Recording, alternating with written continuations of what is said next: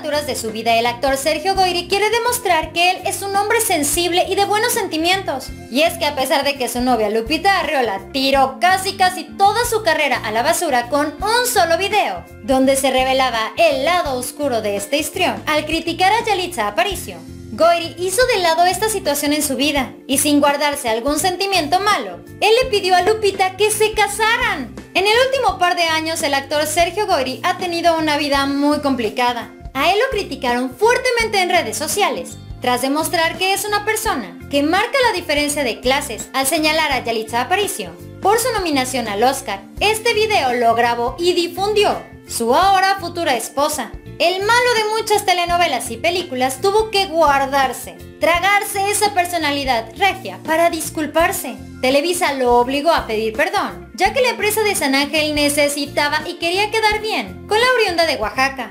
Sin embargo, a pesar de pedir disculpas una y otra vez y decirse apenado por su bocota, Televisa no lo perdonó. Los ejecutivos lo mandaron a la congeladora durante un tiempo quitándole el trabajo que Sergio Goyri ya tenía programado. Más tarde se supo que el actor fue internado para operarse una hernia que le causaba molestias. Y aunque esta intervención resultó exitosa, le llegó la mala noticia de que adentro del hospital alguien lo contagió del padecimiento mundial. Sergio estaba bajo de defensas por la convalecencia, con la moral por el piso, por no tener trabajo en Televisa. Y encima de todo esto, como cereza del pastel, se contagia de esta enfermedad. Fue en ese momento que Sergio Goyri recapacitó y se dio cuenta que la vida, en realidad, se va en un parpadeo. La vida es muy corta, hoy estamos, mañana quién sabe. Esos males en conjunto forjaron una ventana para que Sergio Goyri viera el mundo de una manera diferente. Él decidió olvidarse del pasado y de los malos sentimientos, así que le ofreció lo que le queda de vida a Lupita Arriola.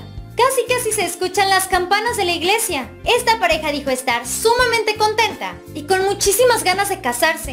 Ellos solamente están esperando a que acabe el aislamiento para hacer una tremenda pachanga. Pero de repente llegó Maribel Guardia. Ella los bajó rapidísimo de su nube, diciéndoles que esta celebración no se puede realizar, al menos en el plano civil, pues resulta que Sergio Goyri no se ha divorciado de Tere Filippini. Esta sería la tercera ocasión en la cual Sergio Goyri está completamente seguro de llegar a ese momento de éxtasis, de felicidad que dicen que solamente se vive una vez en la vida.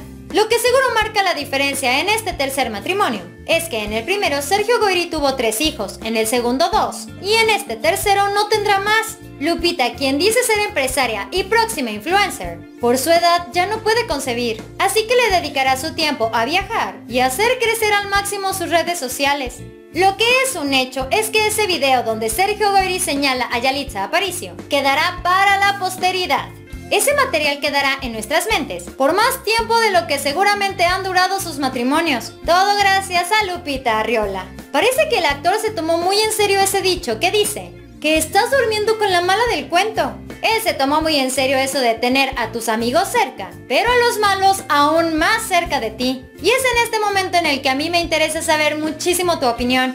Esto fue Famosos de Cerca. Dale like a este video y no te vayas sin antes suscribirte a nuestro canal de YouTube dando clic aquí abajo. Al igual que seguirnos en nuestra página en Facebook. Espero que tengas un excelente día. Nos vemos muy pronto. Bye.